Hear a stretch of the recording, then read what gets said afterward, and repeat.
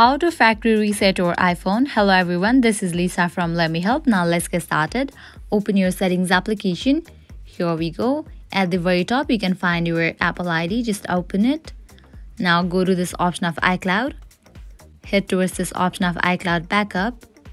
If you want to back up all of your data in the iCloud, you can just tap on this option of backup now. This will back up all of your data in the iCloud before factory resetting your iPhone. After you do that, you can go back.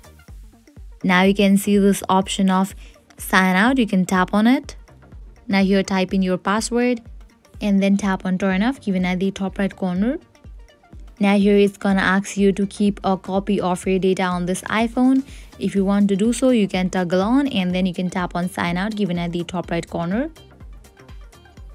After you sign out, you will see this option of sign into your iPhone. Now what you have to do is you can head towards the resetting your iPhone. So scroll down and head towards this option of general.